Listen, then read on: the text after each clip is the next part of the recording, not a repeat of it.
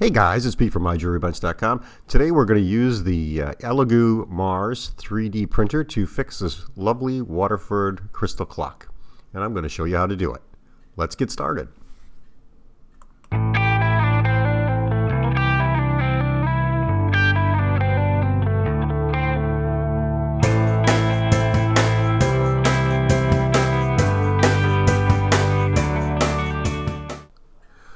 Okay guys, so first things first, if you want to skip through this part where I actually replace the clock movement or the watch movement that's in this little clock, you can go to the five minute mark and it'll start working on uh, the, replacement part that I had to make with my Elegoo Mars printer. So you can skip right there, it's, it's at the five minute position. Here I'm just grabbing a new movement and I'm going to get it ready to put the dial and the movement together. First things first, I want to mark the back side of the dial where the 3 o'clock position is, just so I know this particular movement doesn't fit into the same dial feet on the dial as the original one did. So I've used some uh, dial adhesive, which is basically just double-sided, real, real sticky, thick pads here, and we're going to remove the protective cover. There should be three of them here. Once I get those removed, we attach it to the dial. Just align the stem up with the 3 o'clock position. On this particular clock, it doesn't matter. Now I'll go ahead and set the hands. Uh, if you go back and look at some of my other videos, you'll see where I show you how to replace quartz watch movements. It's the exact same thing here. Putting the hour hand on here. Get that situated correctly and just make sure it turns, and it does. The next step is to get the minute hand on. So as soon as we've leveled off the hour hand, we'll grab that minute hand, put that on there.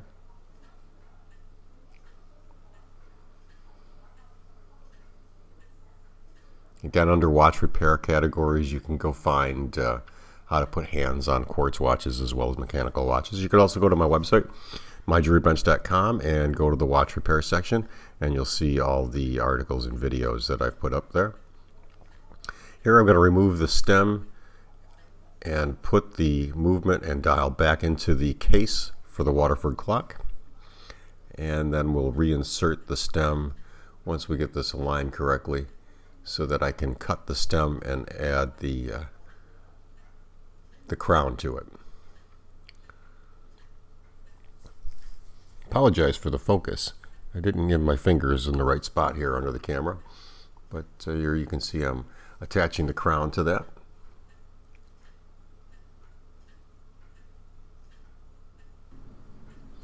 Once the crown's on the stem, I'll put that back in there and we'll measure the uh, length of the stem so that I can trim it. Grab the marker, gonna make a line on the stem where I can cut it. We'll go ahead and uh, pull this stem out again just to make sure. Once I get that out, take the crown off. We're going to use cutters and cut along that blue line. And then I'll use a diamond wheel to trim it and file it, and then we'll reattach the crown. It's a very, very small crown, so it takes a little playing with. Reinsert that back into the movement, and it should fit fine by now.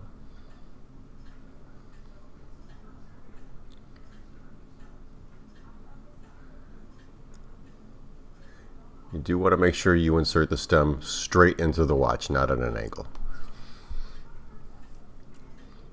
Okay, time to put the battery on and then we'll just make sure that uh, once the battery is seated, flip her over and make sure she's running.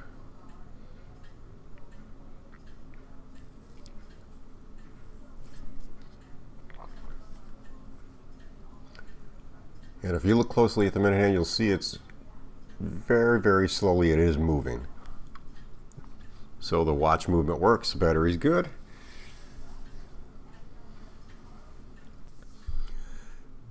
We'll get the spacer back in there and we'll just throw the cover back on. And we are done with the uh, little small clock movement, which is actually a watch movement.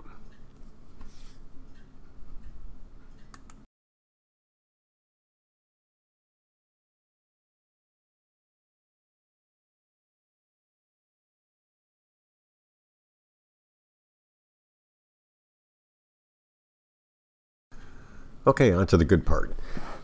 Here we have to measure the outer diameter of the insert for the clock and what I find here is 33.3 millimeters. And I'm going to measure the inside diameter and that's 35.3 millimeters.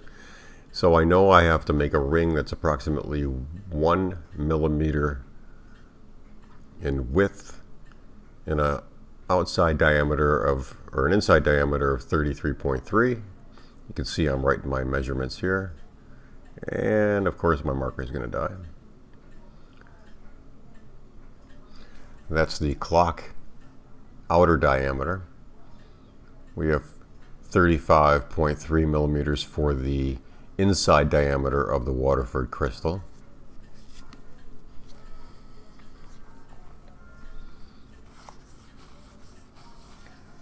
You're going to need these measurements when you go to, um, in my case, I'm using Blender to model this and then I'll print it on my Elegoo Mars printer. So I'm just drawing a circle just so I have my notes correct. 33.3. However you decide to do it, just make sure you keep track of your measurements. The outside dimensions 35.3 and the thickness we know is going to be 1 millimeter since there's a 2 millimeter di difference. So we have to make up that 2 millimeter gap or that will actually be a 1 millimeter gap around the entire perimeter. And the last measurement I'm going to need to take is actually how thick uh, or deep to make this and we'll take that right now and here we're going to be about four millimeters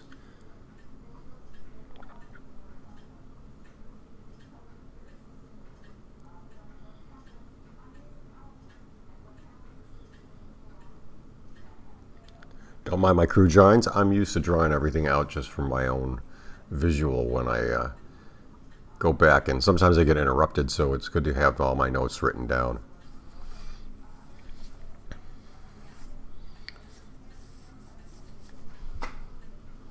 Okay, let's fire up Blender. And I'm going to delete my first object there. We're going to add in a cylinder. And I'm going to give this cylinder a hundred, uh, a hundred edges along the outside diameter. I'm also going to change the depth here to 4 millimeters. And we'll change the radius to approximately, uh, this is radius divide 35.3 by 2, and that comes up with your radius. I'm just guessing here about 16 and 3 quarters, 17.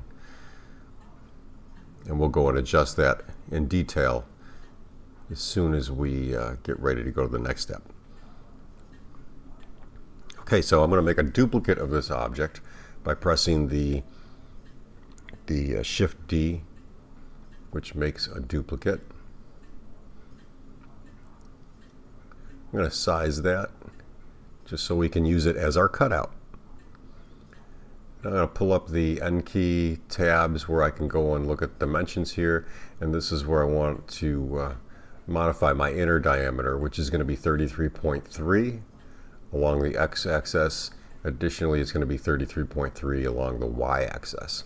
The z is the height here, and our, uh, our plug is going to be fine like that. Now I'm going to select the actual ring, and we'll make that 33, 35.3 on the x and y axis. Next step is to select the first, or the, the cutout. So I'll select it here. I'll hold the shift key down and select our insert go to the Edit tab and then press Difference and it leaves us with a filler piece for our Waterford clock. Once I've got this filler piece done, I'm just going to give a little taper to it and uh, you'll see here in a second. I'm going to switch into edit mode.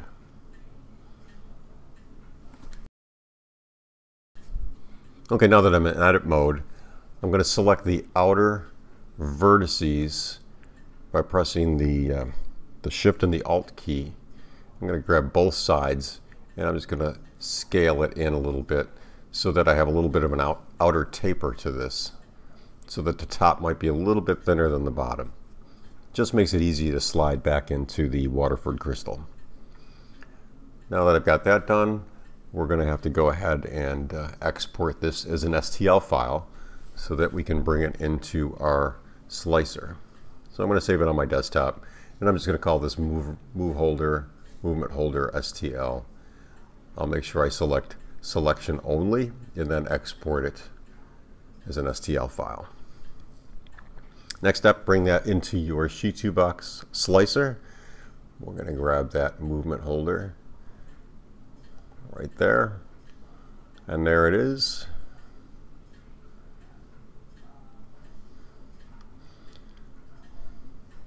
Depending on what resin you're using, uh, go into your settings and change any settings that you have. Um, every time I, uh, on this computer, I don't have a profile set up, but you can save multiple profiles. If you don't, it'll always remember your last setting. So setting the exposure time to 8 for each layer, 0.03 millimeter for the z-axis height, and uh, 42 millimeter or 42 second exposure time for the bottom five layers. No infill, I want this solid, and I'll use anti-aliasing, although I don't seem to see much of a difference on that with these small parts. Let's get it sliced.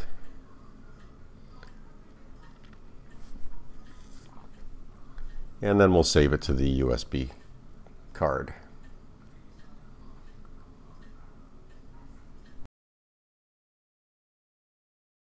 Okay, here's the fun part. What I like to do first is I take a little bit of Rain-X and I spray it on a paper towel and I wipe down the FEP film and then I'll dry it with a cloth just to make sure that uh, nothing's wet inside. I'm just going to wipe off the bottom just because it's my habit. I do that all the time. And we'll get the uh, vat tray all set up. Next step is you have to get the alignment of your build plate set. I align mine each and every time I print. It just makes sure that I have a nice level bed. So when you level it, if, if you're one of these people who can be very careful and you think you're never going to misalign your, your build plate, that's great. Um, I level my build plate every single time I print just to make sure.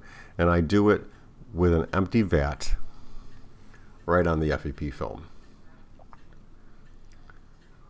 Once I get that aligned, I'll tighten up the uh, build plate screw and make sure that it's tight in place.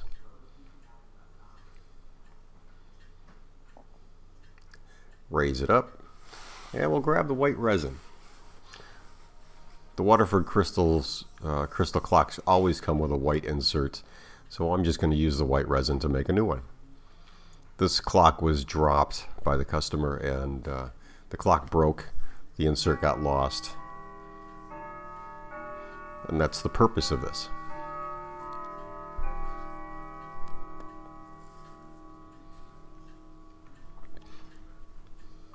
I always wipe off the neck of the bottle just to make sure that the cap doesn't dry up on the bottle.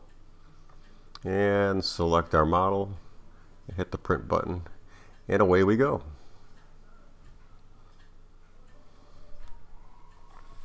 This print took about uh, 25 minutes. So as soon as it was ready, we came back and this is what we had. I keep two little vats. One, the first one on the left is water. The second one is isopropyl alcohol. And what I usually do is I take the build plate off the Elegoo Mars. I'll scrape off any excess resin that's on the build plate into my vat try to get a shot of this on camera, but I wasn't very good at it. I apologize. And because I didn't use any build support on this, uh, you'll see that when I actually remove the object, I use a razor blade to uh, cut it off.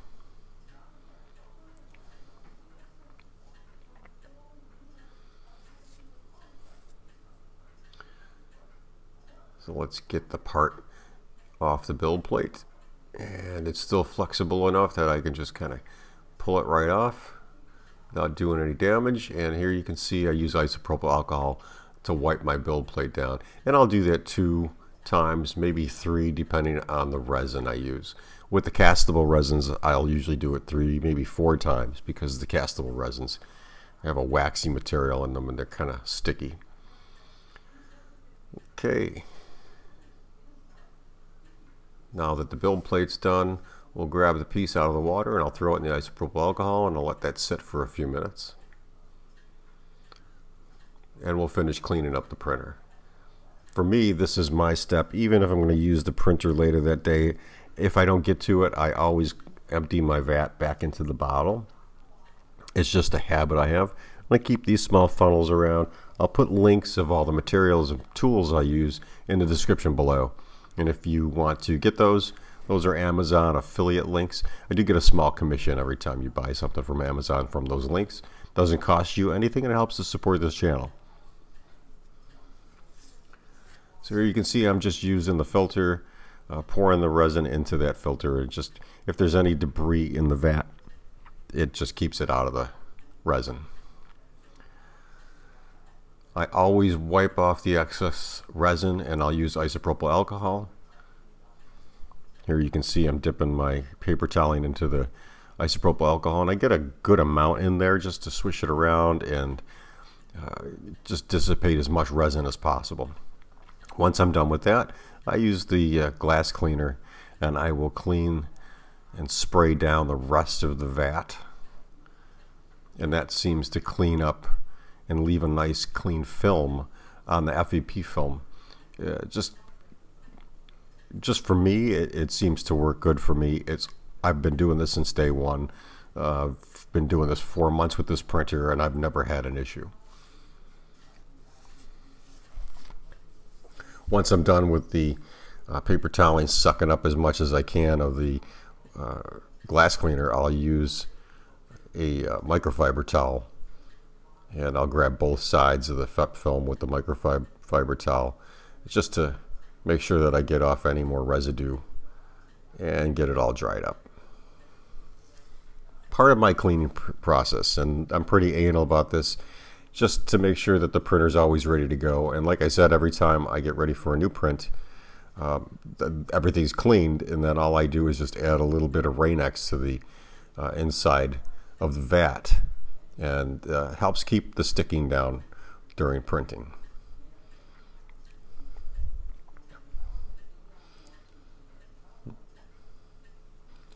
And again, I'm just going to wipe down the bottle. If I got any resin dripping down, I'll just wipe that off. Make sure there's no resin on the neck so I can put the cap on and not worry about uh, uh any resin drying up and drying the cap onto the bottle.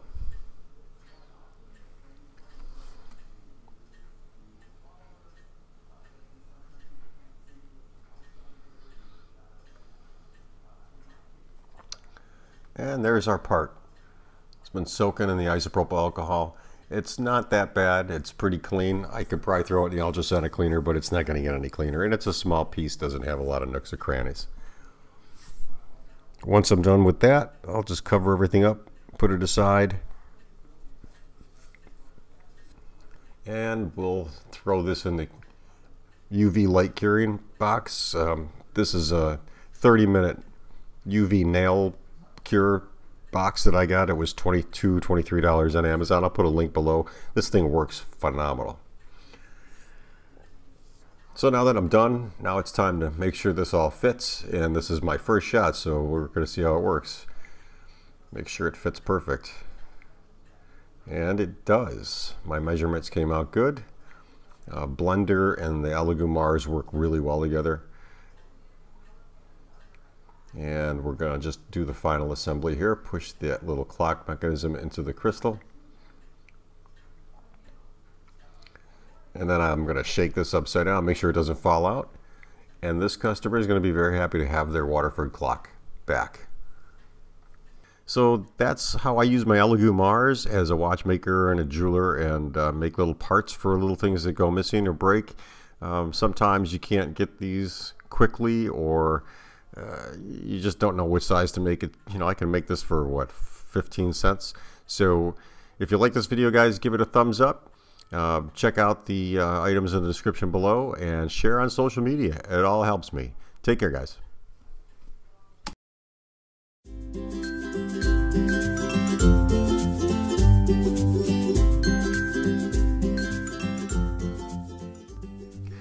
Thanks guys for taking the time to watch some of my videos. I really appreciate it. If you like these videos and you, you find them helpful, please give me a thumbs up. And if you want to see new stuff that I put out, usually on a weekly basis, hit the subscribe button and you can get notified by clicking on that little bell. I really appreciate any uh, sharing that you can do and the thumbs up that I get if you like these videos kind of helps with uh, my channel to grow.